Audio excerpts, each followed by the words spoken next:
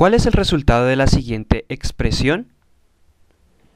Entonces, esta expresión la podemos expresar de la siguiente manera, multiplicándola por su conjugada.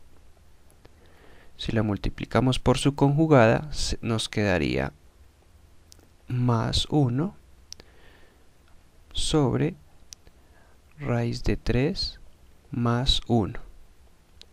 Al hacer esta multiplicación, tendríamos 3 más raíz de 3 sobre 3 menos 1.